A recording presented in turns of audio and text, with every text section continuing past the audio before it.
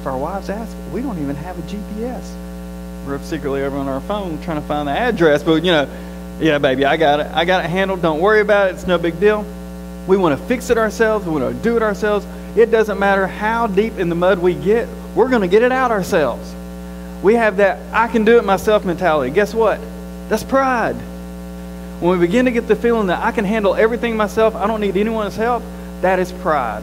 And that is selfish pride because guess what? What we're doing is we're hurting us and we're hurting our relationships with others. Because you know what? God has equipped so many people to help us and put them in our path. You know what's crazy is when you're when you see people stuck on the side of the road and they're shoving that they're trying to push that vehicle off and they're grunting, they're sweating and everything, and you stop and you say, Hey, can I help you? No, I'm good. I'm good, I got it, thank you. And you're like, ain't got it, that car's about to run over you. Let me help you. No, no, I'm good, thank you very much.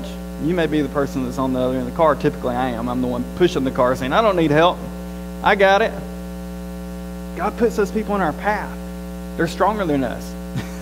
Sometimes they know how to fix things. You know what? We have to be able to humble ourselves to say, I need help. So second type of pride is I can handle it myself. Third one is this I don't need rules. I don't need rules. I don't have to obey the rules. That's my driving experience, not for me personally, but for other people. As I'm driving down the interstate every single day on I 65, I see plenty of people who think the rules do not abide to them. They, they, they are not for them, for them at all. Blinkers? Nah, you don't need blinkers. Speed limit? Eh, speed limit doesn't really matter. Oh, riding left-hand lane at 60 miles an hour? That doesn't matter either. I can do that because, you know, that's not against the rules when it really is. I don't have to obey the rules. And the world's worst is if something happens on the interstate and the interstate stops and you can see the exit half a mile up the road and you're sitting there patiently waiting because you are going to obey the rules. And what happens? You see these cars just zipping past you in the median or on the side of the road. You know, they're going past you the whole time. What are you doing? Just can't believe those people won't believe the rules. You know, and then what do we want to do? Zip over there and go ourselves, don't we? Because guess what? The rules don't apply to us. The rules don't matter. And it may not be just driving rules. It could be other things. It could be rules at work. You know, you may have those rules. Well, you're not supposed to do this. You're not supposed to do that. Well, you're only supposed to take a 30-minute lunch. Well, I, I you know, I, that rule is kind of dumb. I'm taking a 45-minute lunch. I work harder than other people. I'm going to take a 45-minute lunch. Or, you know, it doesn't matter that it says I'm supposed to be there at 7 o'clock. If I get there at 7.15, I'm close enough or you're supposed to leave at 5. Well, you know, if I leave at 4.30, it's okay because, you know, everybody else does it. The rules don't abide to us. They don't apply. That's pride. Let's just call it what it is. That's pride. That's the rules don't matter because I am better than the rules. We come up with ways to work around it, don't we? Well, I work harder, I do this, well, it doesn't matter about that. Well, that's not really what they meant by, by saying speed limit 70 miles an hour they really meant 75. I know what they really meant. You know, they were just scared because somebody might get mad. And we come up with all these reasons of why it doesn't matter. Guess what? That's pride. So, how do we deal with pride? How do we deal with this selfish pride of I'm better than someone else, I can handle it myself, and the rules don't apply? How do we how do we deal with this type of pride that builds up in this selfish pride that drives us and begins to drive a wedge in relationships between us and other people? Because guess what? That's what it's doing. Every time you're doing that, Every time you're letting pride come up in your life, it is driving wedges between you and other people. And more importantly, because it's sin, you're driving wedges between you and God. So how do we deal with it? Well, it's very simple. In Luke chapter 18, we find a guy that Jesus tells a story about these two guys and how pride fell into this whole situation. And Jesus gives us the answer on dealing with the monster called pride and how to battle pride. It's Luke chapter 18. We're going to start in verse 9, and it's again up here on the screen. You also, if you have a copy of God's Word, turn there with me. This is what it says. Says, Jesus told this story to some who had great confidence in their own righteousness. So, very first thing out of the box, what's the matter? They had great confidence. In other words, they had pride in what? Their own righteousness. Now, we all know because we live on the other side of the world now we live on the other side of history, we know that no one is righteous, right? Right? Yeah, everyone agree with that? Yeah. I, am a pretty good guy. I'm pretty. I'm. I'm. Yeah. I, my righteousness is pretty strong. Okay. Yeah. this is what he says. Says this is to people who had great confidence in their own righteousness and scorned everyone else. So there you go. There's the other clue. They were damaging relationships. They thought they were better than everyone else. They thought the rules didn't apply to them. They thought they could handle it themselves. Because here's a guy, this person or people that Jesus is talking to, who had great confidence in their own righteousness. In other words, they don't need God because they can do it themselves. The rules don't apply to me. That whole rule thing that's out laying out there that guess what? You none are righteous before God. That doesn't apply to me because I'm building my own righteousness. And I'm better than everyone else. That's why I'm scorning them. Everyone else is lower than me. So he tells this story. Verse 10. Two men went to the temple to pray. One was a Pharisee, and the other was a despised tax collector. I love how Jesus says that. He's a despised tax collector. So far, I haven't known a single tax collector that wasn't despised. When you look in Scripture, every tax collector was hated. Why? Because they were tax collectors, right? They worked for the government. They were, they were, uh, they were considered betrayers. They were considered uh, people that were totally against the Jewish people. You know, these are people that were more hated. Matter of fact, when you read Scripture, and this is one of my favorite things, a lot of times there was a separate category for tax collectors. You had sinners and tax collectors. They were worse than a sinner. So here you have a despised tax collector. What a big surprise that they were despised. They have their own sin category called being a tax collector. Verse 11. The Pharisee stood by himself. That sounds pretty good, right? That's nice prayerful attitude to have, to be by yourself alone. Jesus talks about that. And he prayed this prayer out loud, by the way. It doesn't have that in there, but he prayed it out loud. I thank you, God, that I am not a sinner. Ooh. Like everyone else. So what do we have here? I'm better than everyone else, right? I'm better than everyone else. I'm not a sinner. Now, is that truth or trash? That's trash, isn't it? Because Scripture plainly tells us we are all sinners and fall short of the glory of God. Yet here's a guy who said, I'm not a sinner. I'm better than everyone else. For I don't cheat, I don't sin, and I don't commit adultery. Now, you notice he left out a bunch of the Ten Commandments right there, didn't he? You know, he kind of he kind of gave his highlights. We've talked about that before. How you how you like to do your highlight reel. That's again, that's a pride thing. When you have your highlight reel, you only tell the good parts of your day. You only tell the good good things that happen in life. You know, you ever gone through the whole resume process before? What do you do on a resume? You write all the good things, don't you? You don't write how many times you've been late for work, how many times you called in sick, how many times you've done the wrong thing, you goofed up, and you got written up. No, you put what a great guy you are, what a great employee you are, and how wonderful you are, and everyone loves you. Right? That's what this is. This guy's telling a highlight reel. He's going, look, I don't, I don't sin, I don't cheat. Probably. You know, I don't commit adultery. Maybe. I'm certainly not like that guy, the tax collector. And then he gets all spiritual. Here comes the spiritual aspect of it. I fast twice a week, and I give you a tenth of my income. In other words, I'm a good guy. I'm a good guy. I, I go beyond what everyone else. Are, most people only fast once a week if they fast at all, and I do it twice. There you go. Nah, nah, boo, boo. And then I tithe. How many people tithe nowadays? So this guy was confident in his own righteousness. He was prideful. And it's sad because this pride is directly going against God. Because what is he doing? The whole time he's talking to God, he's not going to God saying, God, I need your help. God, I need this. He thanked God in a very perfunctory way. He said, Thank you, God, because I'm better than everyone else. Thank you, God, that I'm not like those people.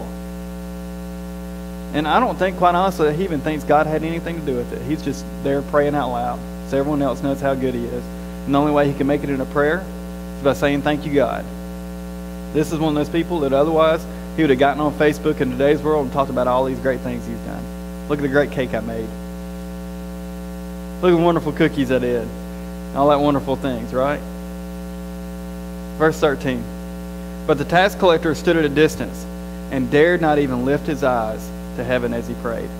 Instead, he beat his chest in sorrow saying, Oh God, be merciful to me, for I am a sinner. I tell you, and this is Jesus talking, verse 14 says, I tell you, this sinner, now notice, Jesus doesn't beat around the bush here. He calls him what he is, right? He calls the tax collector a sinner. Why? Because he's a sinner. Okay? Jesus doesn't go, oh, you're not really a sinner. Oh, it's okay, baby. You're okay. You're better than, it's, it's not really as bad as you think it is. No, he calls him flat out a sinner. This guy is a sinner. This guy is a tax collector. This guy is a betrayer. This guy is going against his own people. This guy is doing things that are wrong. He's calling him what he is. He says, I tell you this, this sinner, not the Pharisee, return home justified before God. Justified simply means put back right with God. That that relationship with God was restored. The whole reason that guy, that tax collector, went there and prayed was not so he would have attention of people, but so that his relationship with God would be restored and back to where it's supposed to be. That was his sole goal. The Pharisee's goal was to let everyone know how great he was. The tax collector's goal was to get things right with God. And Jesus said, Guess what? That guy went home right with God. The Pharisee only went right home with himself.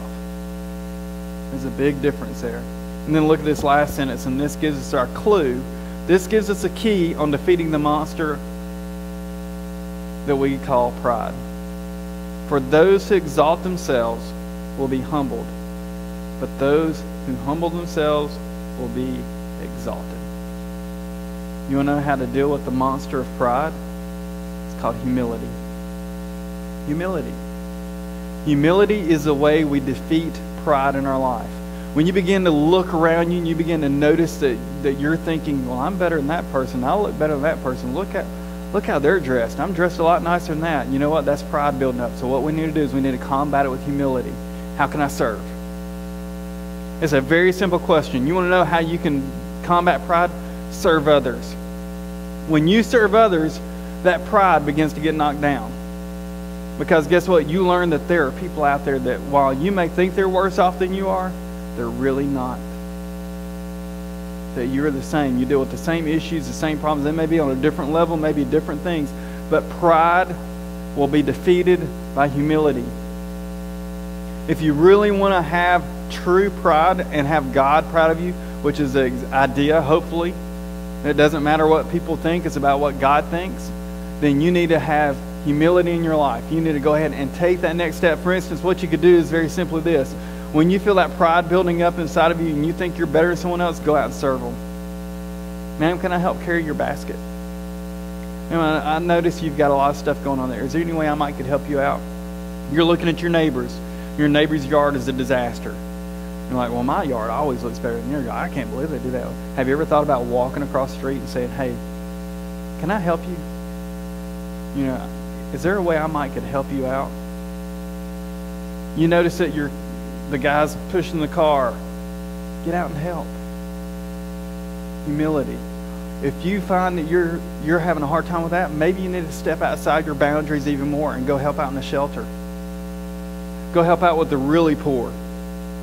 When you begin to have pride building up and saying I'm better than everyone else, then you know what? Maybe you need to do that kind of thing. If you're one of those, and you have that pride build up of I can handle it myself, then maybe you need to go ask for help. Maybe you need to intentionally go knock on someone's door and ask for help just for your own pride.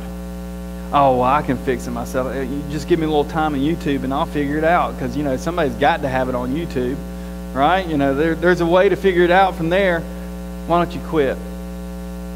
Walk over and ask somebody for help. You know what you're going to do then? You're going to build relationships you're going to defeat pride. Because when you do that, when you're humbling yourself, that is when things happen. You find that pride building up about your children, you know what you need to do? Encourage others. When you find yourself wanting to compliment yourself and build yourself up, that's when it's time to compliment others. You know, I've had an interesting time at work over the past few weeks because we have this problem of that we have a lot of lot of bashing going on back and forth. You know, we've got we've got certain people in the store that you know they don't do their job and they don't do this and they don't do that. And what I've had to learn first of all is keep my mouth shut because it's very easy for me to jump into that pile and uh, oh yeah, you're right, they stink, they're horrible. I can't believe we even keep those people around. What are they thinking? Why are they doing that? And what I've had, what God has really dealt with me on, is this: hush, first of all. If it's going to be critical, be quiet. And then encourage. Build that person up. You know, they do a really good job with this type person. They really do do a good job with this and they're and that's what we have to do when we begin to find ourselves wanting to be critical of others. Encourage them. Build them up. Humility leads to a strong relationship with God and others. That's the key.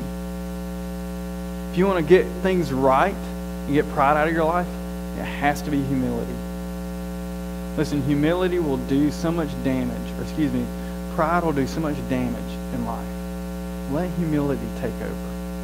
Because then your relationship with God will be strong. God hates the proud. Hates the proud. But he exalts the humble. Which would you rather be? I'm going to ask you to do this. As we finish up today, I'm going to ask you to bow your head and close your eyes for me for just a minute and spend a time, moment of reflection. I want to read some verses to you that as you have your heads bowed and eyes closed, I'm just going to read them. I want you to, I'm going to take my time with. I want you to think about it. Think about how does that apply to your life, and then as we end today, I want you to think about what is one step you can do this week to defeat pride in your life. What is the area you're dealing with the most, and how can you defeat it with humility? This is what Proverbs 11:2 says, when pride comes, then comes disgrace. But with humility comes wisdom. Proverbs 16:18 says, pride goes before destruction, a haughty spirit before a fall.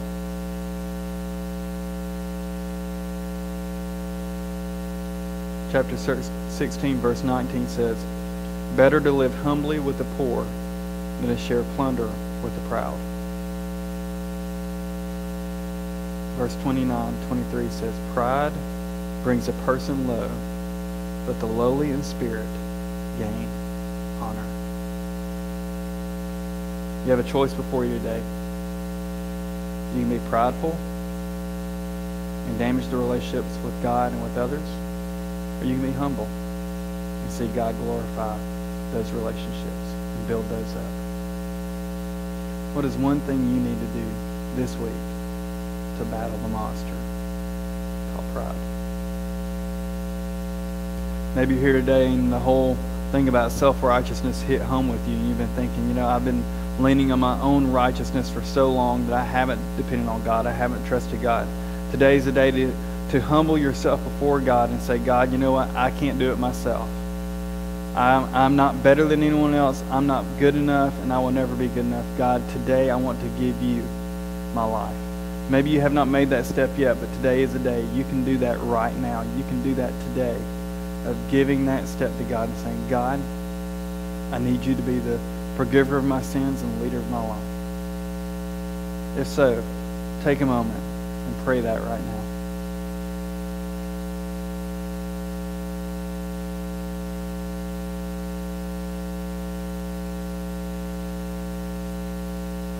Maybe you're here today and you have been battling with pride for a while in various ways in various areas of your life. Spend a moment right now asking God to challenge you and to change you in this area in your life.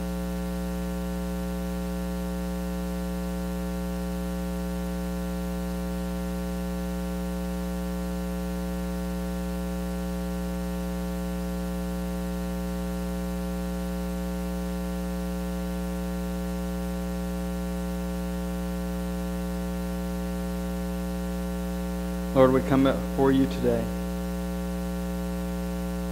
And we ask you to help us to see the areas of our life where we have built up pride. That we have let that monster rage inside of us. God, we pray for the strength and the courage to be humble. That we will serve others. And we will encourage others. And we will build other people up not for our sake, but God for yours. That others will see your light through us, and God, so that pride will not become that monster in us any longer. Lord, we praise you and we thank you for being so loving and so gracious and so encouraging. And God, we praise you because you let us see these sins in our life for what they are. And you lead us to change. God, we commit to that change today. In your name we pray.